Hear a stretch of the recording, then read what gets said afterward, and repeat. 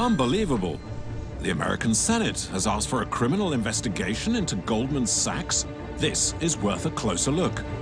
I'm astounded. A bank like Goldman Sachs, one of the most prestigious and influential banks in the world. The once untouchable financial firm is now on the receiving end of a subpoena from the Manhattan DA's office.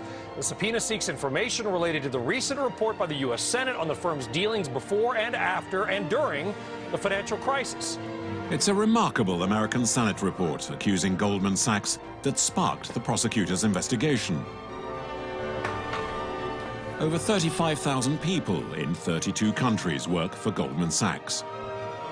The head office is here in New York, and I was eager to find out what this place was like.